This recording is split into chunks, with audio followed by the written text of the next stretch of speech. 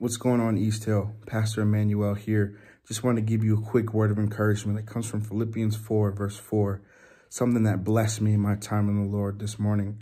And it reads, Rejoice in the Lord always. Again, I say rejoice. Now, when you hear the words rejoice and always in the same sentence, and then quickly reminded again to rejoice, it's crazy. It's crazy. And if you understand the context to this verse, the apostle Paul is actually writing these words of encouragement to the church of Philippi while he is imprisoned. Now that's nuts. That that's far beyond me.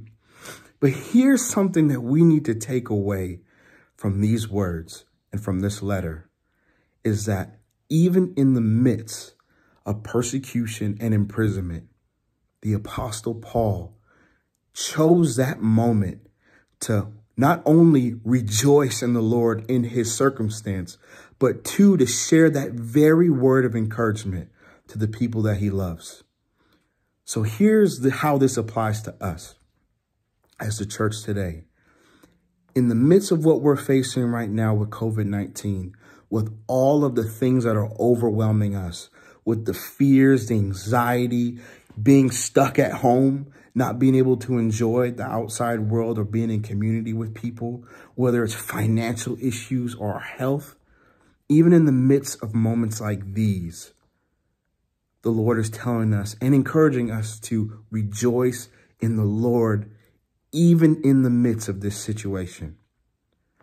To make this personal, and maybe some of you all might be, be able to relate. Two years ago, my wife and I experienced one of the most devastating moments in our lives. We had a son that was actually born three months premature.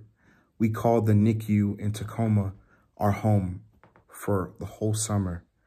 And unfortunately, unfortunately, due to pregnancy issues and, you know, unexpected health issues after he was born, he only lived with us for two weeks and went home to be with the Lord we were devastated. Obviously, we had so many questions like, why, God? Where are you in this? Like, this hurts. This, the pain I feel is agonizing.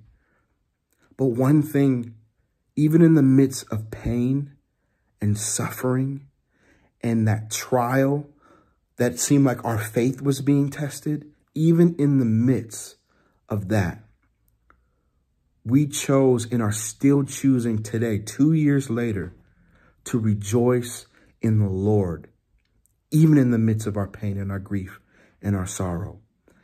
And to be honest with you, church, loved ones, we have found so much joy and comfort knowing that the Lord is with us. And the Bible also tells us that he is near and dear to the brokenhearted. We got to experience and we get to experience the Lord's heart for us firsthand. So let this encourage you. If you have walked through things like that, through grief, loss of a loved one, either if you're if you're facing health challenges, if you're facing uncertainty with your finances, if you're facing whatever challenges that you're going through right now in 2020, my prayer, my heart, and hear me please, hear me please, my heart for you, and I believe God's heart for you, is that you would experience the presence of God like never before. And that all starts with you choosing to rejoice in the Lord, even in the midst of your circumstances. I love you, church. I love you so much. We're going to get through this. I promise you we're going to get through this. It might not make sense right now. It might feel so dark right now, but we are going to overcome. I love you. I love you. I love you. God bless.